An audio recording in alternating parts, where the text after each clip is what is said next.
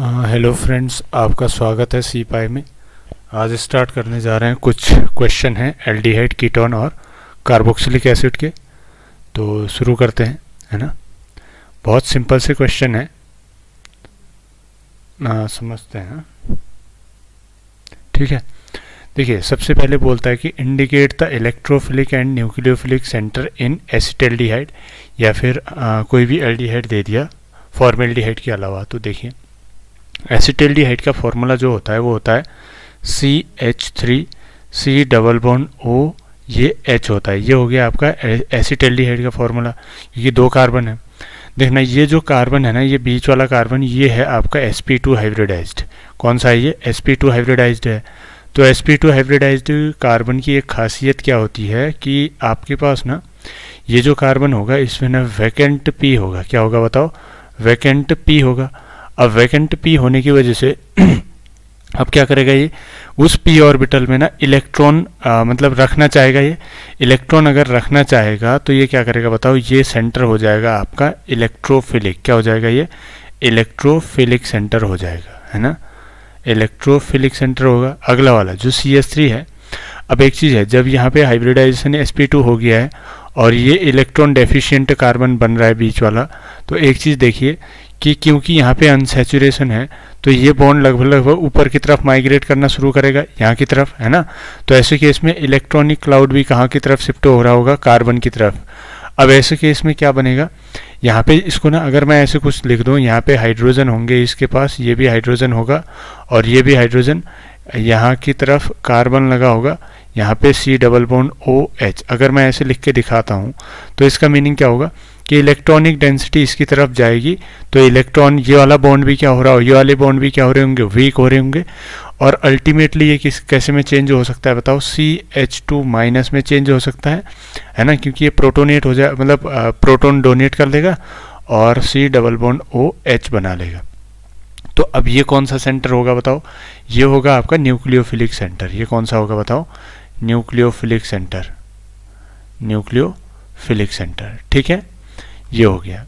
अगला फिर I U P S C nomenclature हैं। इस चैप्टर के बहुत ज़्यादा इम्पोर्टेंट तो हैं ही और कॉन्सेप्ट भी हैं इनमें। तो पहला वाला है, आपको एक बेंजीन दे रखा है और बेंजीन के साथ साथ उसने बोला है कि इसमें ना वो सी एल ग्रुप लगा हुआ है, ठीक है? तो इस सी एल का काम क्या होगा, उसको समझते हैं सबसे पहले तो। देखिए, आपके पास दे रखा है एक बेंजीन यानी कि अगर कभी बेंजीन के ऊपर ना बेंजीन के ऊपर ऐसे कभी सी एच ओ लगता है तो इसको बोलते हैं बेंजल्डिहाइड क्या बोलते हैं बताओ? बेंजल्डिहाइड बोलते हैं। बेंजल्डिहाइड बोलते हैं। ठीक है ना? ये तो बेंजल्डिहाइड हो गया। अब यहाँ पे अगर आप देखोगे अच्छा यहाँ पे थ्री पे लगा हुआ है तो थर्ड नंबर पे क्या लगा हुआ है? सी एल लगा हुआ है। इसका मतलब ये क्या हो जाएगा बताओ? थ्री क्लोरो है ना? इसका नाम हो जाएगा three chloro benzaldehyde benzaldehyde हो जाएगा इसका नाम। ठीक है? उसके बाद ये दूसरा वाला है। दूसरा वाला इंपॉर्टेंट है। सुनना, इसमें ना दो फंक्शनल ग्रुप दे रखे हैं। एक तो आपको कीटोन दे रखा है और दूसरा दे रखा है आपको एल्डिहाइड दे रखा है। ठीक है? और अगर एल्डिहाइड और कीटोन में हम वो करते हैं आ, मतलब प्रायोरिटी देखते हैं तो एल्डिहाइड की ज़्यादा प्रायोरिटी दी जाती है। मतलब एल्डिहाइड को हम यहाँ पे क्या करेंगे? ज़्यादा प्रायोरिटी देंगे। अगर यहाँ पे हम एल्डिहाइड को अगर ज़्यादा प्रायोरिटी देंगे तो इसी के बेसिस पे नाम भी रखा जाएगा एल्डिहाइड के नाम पे। तो एल्डिहाइड का जो आपका सफिक्स होता है वो सफिक्स होता है अल। क्या होता है? अल होता है। तो इस अल से तो नंबरिंग कहाँ से स्टार्ट होगी? वन यहाँ से होगा। ये टू हो जाएगा ये थ्री हो जाएगा ये फोर और ये फाइव अगर ना सी एच ओ को हम क्या ले रहे हैं? मेन चेन ले रहे हैं मतलब मेन फंक्शनल ग्रुप ले रहे हैं। तो सी डबल बॉन्ड ओ को क्या बोलेंगे? ऑक्सो बोलेंगे। क्या बोलेंगे? ऑक्सो तो यहाँ पे ना ऑक्सो से पहले क्या रहा है? ऑक्सो भी है और यहाँ पे क्लोरो भी है। तो ओ और सी में पहले कौन आता है? क्लोरीन आता है। तो इसका नाम क्या हो जाएगा? टू पे क्या लग गया है आपका? क्लोरो लग गया है। क्या लग गया है? क्लोरो है ना? टू पे क्लोरो लग गया है और फोर पे क्या लग गया है? आपका ऑक्सो लग गया है। ऑक्जो और टोटल कितने नंबर के कार्बन है? One two three four five के हैं। तो इसका नाम क्या हो जाएगा? पेंटेनल क्या हो जाएगा? पेंटेनल ठीक है ना? तो इसका नाम हो जाएगा two chloro four oxo pentanol two chloro मतलब दो नंबर पे क्लोरीन और फोर ऑक्जो मतलब ये हो जाएगा पेंटेनल ठीक है? फिर अगला है आपका। अगला है, अगले में आपको एक तो सी ओ ओ एच दे रखा है। और दूसरा दे रखा है उसने सी एच ओ दे रखा है, ठीक है? तो अब इन दोनों में अगर देखा जाए तो इन दोनों में सी ओ ओ एच को हम क्या देंगे? प्रायोरिटी देंगे, ठीक है?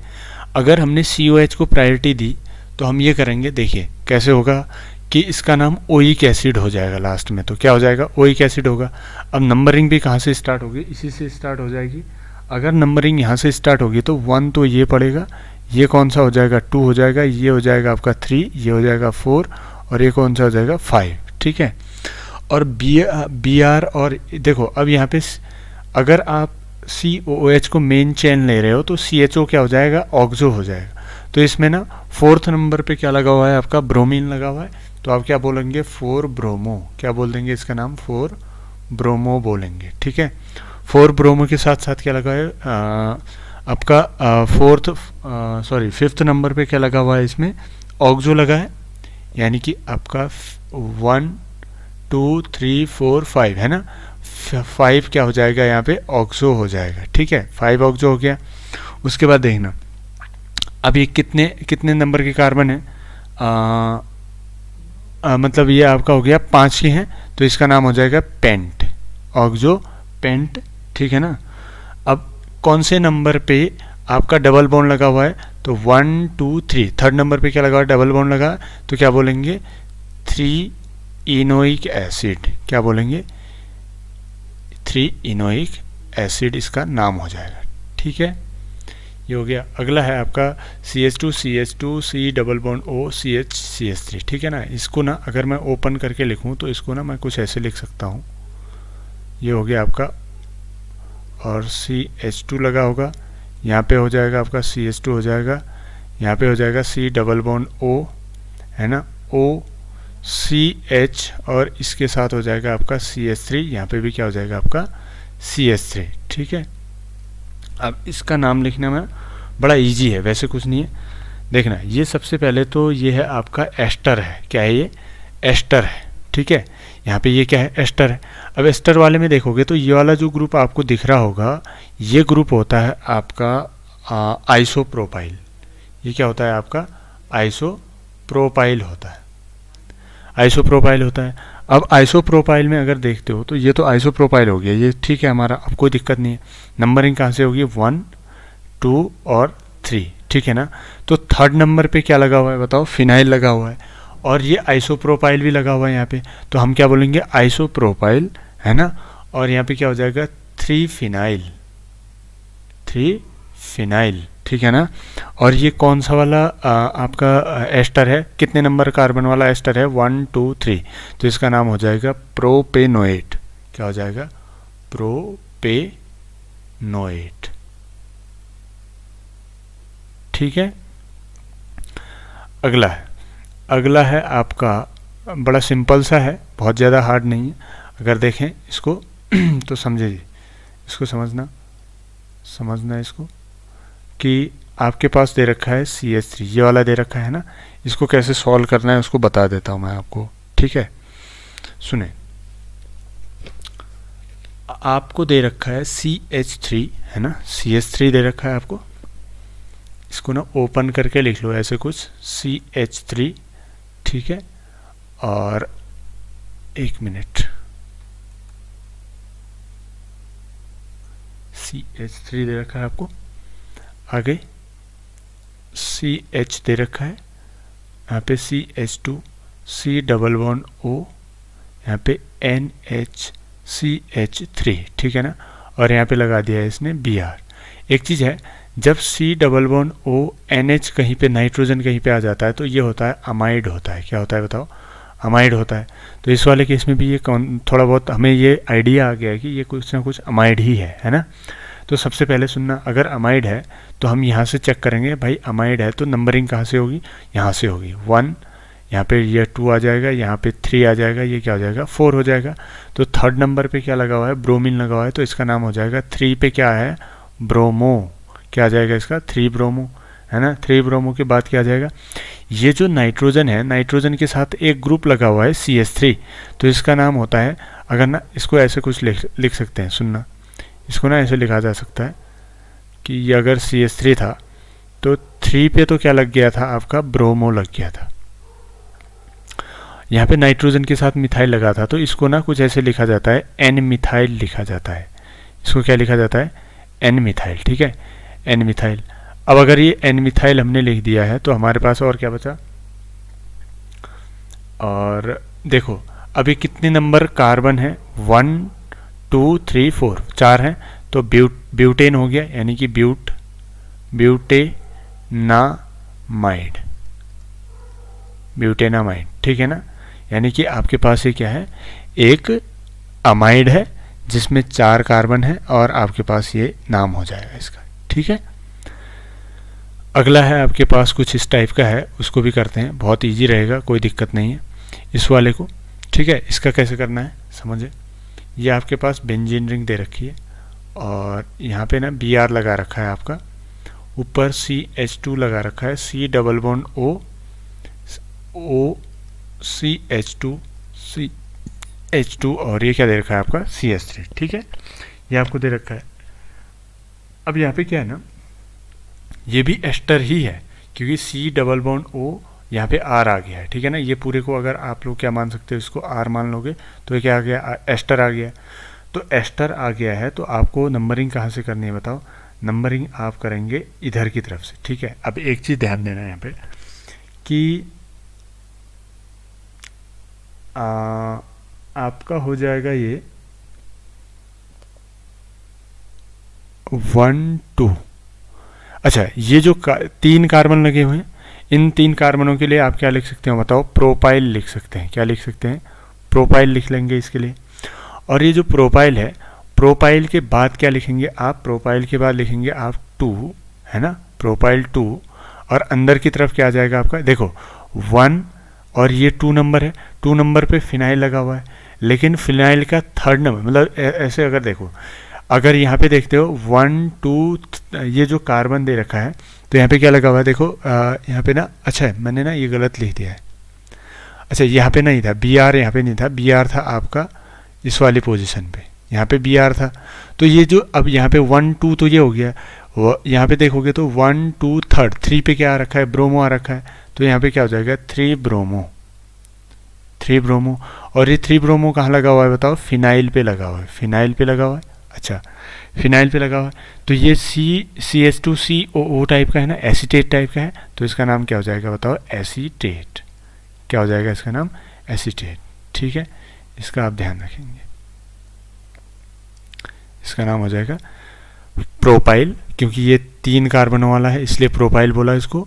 और प्रोपाइल, और यहाँ पे टू टू कार्बन है तो सेकेंड सेकेंड नंबर कार्बन पे क्या लगा हुआ है? थ्री ब्रोमो फिनाइल लगा हुआ है। ठीक है? तो इसका नाम हो जाएगा ठीक है? अगला देखना अगला अगला आपका ना अगले को ओपन करके लिखते हैं कि ओपन कैसे करना है? एक ऑक्सीजन दे रखा है। इस ऑक्सीजन के साथ क्या क्या लगा हुआ है उसको चेक करें सबसे पहले। आपका इस ऑक्सीजन के साथ जो चीज़ लगी हुई है वो है कुछ ऐसे। आ, ऐसे दो बॉन्ड बने हैं ऑक्सीजन के साथ और अगला कार्बन है उसके साथ डबल बॉन्ड ओ लगा हुआ है यहाँ पे भी डबल बॉन्ड ओ लगा हुआ है। ठीक है? आगे क्या लगा हुआ है? आपका सी एच टू लगा हुआ है। यहाँ पे भी क्या लगा हुआ है बताओ? आपका सी एच टू है। आगे सी एच है। यहाँ पे भी आगे क्या है बताओ? सी एच है। ठीक है, ये टू हो गया।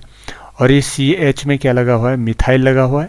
यहाँ पे भी क्या लगा हुआ है आपका? मिथाइल। ये भी क्या लग गया? यहाँ पे भी मिथाइल लग गया।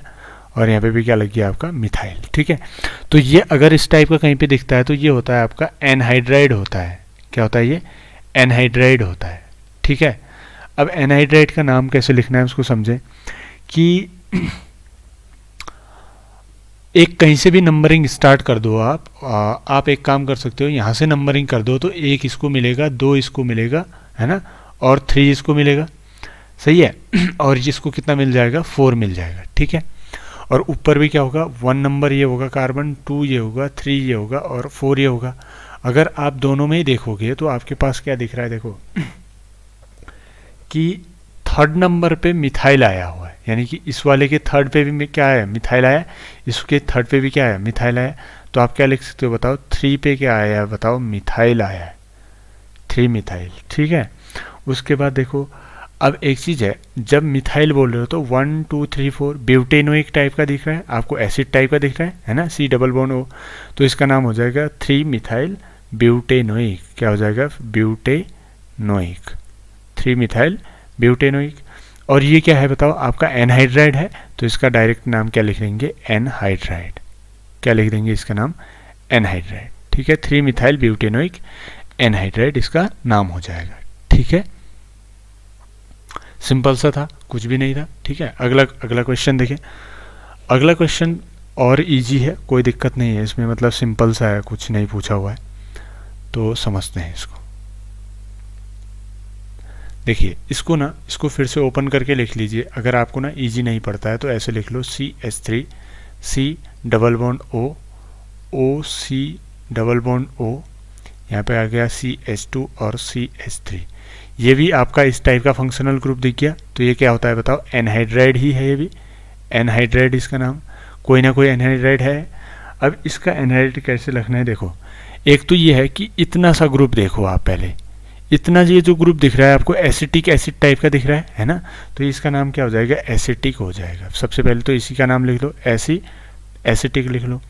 एसिटिक का अंदर आप क्या लिखो कि इथाइल कार्बोनिक देखिए इथाइल अच्छा सॉरी सॉरी तो आपको क्या लिखना है ना? ये जो इथाइल है, ये ग्रुप हो गया आपका इथाइल और ये कौन सा है बताओ? कार्बोनिक ग्रुप है तो आप क्या लिख लेंगे अंदर की तरफ़? Ethyl carbonic ethyl carbonic. ठीक है? उसके बाद बाहर क्या लिख देंगे बताओ? एनहाइड्राइड ठीक है ना? कार्बोनिक कौन से होते हैं? सी डबल बॉन्ड, ओ को कार्बोनिक बोलते हैं। इधर की तरफ़ अगर इथाइल लगा हुआ है तो इथाइल कार्बोनिक। ठीक है? तो ये इसका नाम हो जाएगा। ठीक? सिंपल सा था। कुछ भी नहीं था। अगला करते हैं। देखिए, अगले में क्या दे रखा है आपको? अगले में दे रखा है आपको कि मान लीजिए आपके पास सी एच ओ और सी एच ओ ग्रुप है तो इसका नाम कैसे रखेंगे? तो सबसे पहले क्या है? इसका नाम ना, इसका नाम आपके पास कुछ ऐसा हो जाएगा सी डबल वन ओ यहाँ पे एच लगा हुआ है, ये carbon C double one O H दो एल्डिहाइड ग्रुप है। तो इसका नाम होता है ऑक्जेल्डिहाइड क्या होता है इसका नाम? ऑक्जेल्डिहाइड ऑक्जेल्डिहाइड या फिर इसी का नाम दूसरा भी होता है, जिसका नाम होता है ethane ethane one two diol one comma two diol या फिर आप डायरेक्टली ये भी लिख सकते हैं, इथेन डायल इथेन डायल ये भी लिख सकते हैं। ठीक है? अच्छा अगला वाला है आपके पास। अगले वाले में और थोड़ा सा अंतर है। इसमें क्या हो जाएगा? ये जब आपका C double bond O C double bond O यहाँ पे दे रखा है ना? ये आपको दे रखा है। सी एच ओ दे रखा है। यहाँ पे ओ एच दे रखा है। तो इसकी प्रायोरिटी क्या हो जाएगी? ज़्यादा हो जाएगी। तो इसकी प्रायोरिटी अगर ज़्यादा होगी तो इस वाले ग्रुप को क्या बोलेंगे? ऑक्जो बोलेंगे। सेकंड नंबर पे क्या लगा हुआ है? ऑक्जो ग्रुप लगा हुआ है। तो क्या बोलेंगे? टू पे लगा हुआ है आपका ऑक्जो टू पे ऑक्जो लगा हुआ है। और ये जो ती, दोनों ही कार्बन है, वो क्या है बताओ आपके पास? दो कार्बनों से बना हुआ है। तो इसका नाम हो जाए two oxo ethanoic acid ethanoic acid. ठीक है? अच्छा ये जो अगला वाला कंपाउंड है, ये बहुत ज़्यादा इंपॉर्टेंट है, इसको समझें। इसको ना कुछ ऐसे लिखा जा सकता है कि सी एच टू है और सी एच है, यहाँ पे भी आपका सी एच टू है। इसके पास भी क्या लगा हुआ है बताओ? सी एच ओ लगा हुआ है, यहाँ पे भी लगा हुआ है आपका सी एच ओ और यहाँ पे भी लगा हुआ है आपका सी एच ओ ग्रुप लगा हुआ है। अच्छा एक चीज़ ध्यान देना कि अगर आप ये सब की बातें कर रहे हो तो यहाँ पे क्या होगा ना? वन टू थर्ड तीनों में आपका क्या लगा हुआ है बताओ? अल ग्रुप लगा हुआ है। तो यानी कि तीन कार्बन वाले को तो क्या बोलेंगे आप? प्रोपेन बोलेंगे। क्या बोलेंगे? प्रोपेन बोलेंगे। प्रोपेन के साथ क्या क्या लगा होगा कौन कौन से प्रोपेन पे आपके एल्डिहाइड ग्रुप लगे हैं? फ़र्स्ट सेकेंड थर्ड कहीं से भी यहाँ से नंबरिंग करो। वन टू और ये क्या हो जाएगी? थ्री तो क्या हो जाएगा? Propane one comma two comma three है ना? ट्राई कार्बेल्डिहाइड क्या हो जाएगा? ट्राई कार्बेल्डिहाइड कार्बेल्डिहाइड इसका नाम हो जाएगा प्रोपेन यानी कि एक, दो, तीन carbon one two three tri carbaldehyde ठीक है? ये आपका नाम हो जाएगा इसका। अच्छा अगला क्वेश्चन है। अगला क्वेश्चन भी बहुत इंपॉर्टेंट है और ईजी है। इस वाले क्वेश्चन को यहाँ पे लिखते हैं। देखिए, आपके पास ना ये दे रखा है। डबल बॉन्ड ओ यहाँ पे सी एच थ्री दे दिया। अगर मैं आपको केवल इतना ही लिख के देता तो आप इसको बोलते साइक्लोहेक्जेन क्या बोलते हैं इसको? साइक्लोहेक्जेन बोलते हैं। अब एक चीज़ है साइक्लोहेक्जेन में ना अब कुछ ना कुछ फंक्शनल ग्रुप जुड़ चुके हैं। तो यहाँ पे अगर आप प्रायोरिटी दोगे तो नंबर वन कार्बन ये होगा और टू के कार्बन ये थ्री ये फोर फाइव और सिक्स होगा। सेकेंड पे क्या लगा हुआ है? आपका मिथाइल लगा हुआ है। तो आप क्या बोलेंगे? टू मिथाइल क्या बोलेंगे? टू मिथाइल अब टू मिथाइल के बाद आप क्या बोलेंगे? इसमें साइक्लोहेक्जेन है ना ये तो।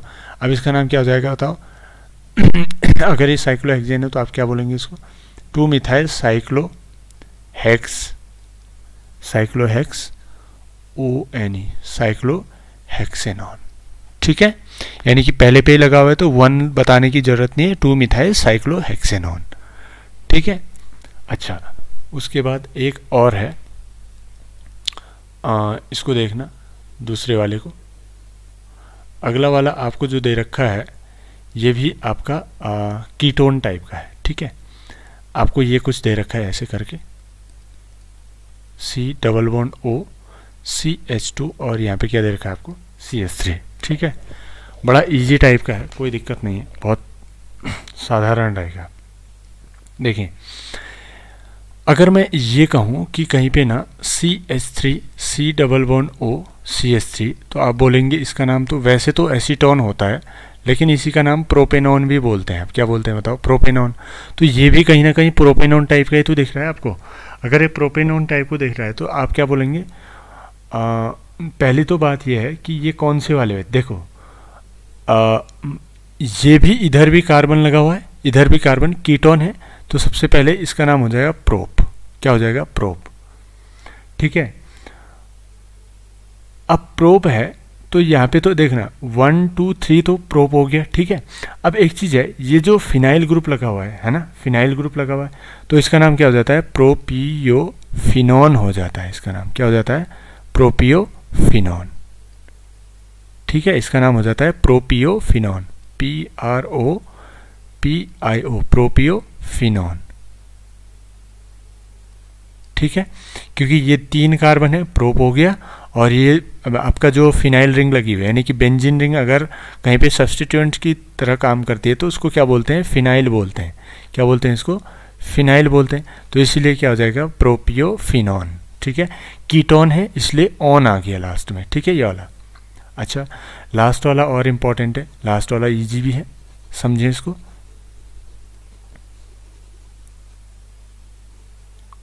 समझे? लास्ट वाला आपको दे रखा है एक बेंजीन है। बहुत ज़्यादा इम्पोर्टेंट है। इसका नाम पूछा जाएगा, वो भी आई वाला। तो 90 परसेंट बच्चे इसमें ना गलत करके आ जाएँगे। तो देखो, इसका नाम ना आई जो नाम होता है, इसका नाम होता है टेरेपथेलिक एसिड होता है आई नाम तो। टेरेफ थैलिक एसिड ठीक है, ये इसका क्या है? आई है। ठीक है लेकिन कई लोग क्या करके आ जाएँगे इसमें? इसमें नंबरिंग करेंगे वन टू थ्री फोर करेंगे और करेंगे वन कॉमा फोर डाई है ना? Sorry one comma four benzene benzene di carboxylic acid carboxylic acid इसका नाम लिख के ये लोग आ जाएँगे। लेकिन इसका जो आई नाम है, वो आपको याद कर लेना है टेरेफ्थलिक एसिड होता है, ठीक है? और इसके बाद ना कुछ रिएक्शंस होती हैं, जैसे रोजन मुंड से लेके हो गई आपकी एच वी जेड तक की रिएक्शन है। दस रिएक्शनें हैं इस पूरे चैप्टर में। उन सारे के सारे रिएक्शंस को मैं एक एक करके सब में वो कर दूँगा, है ना? जैसे रोजन मुंड को करवा दूँगा स्टेफन को सब के सब रिएक्शनों को विद मैकेनिज्म करवा दूँगा। अगले सीरीज़ में होगा वो सब, ठीक है?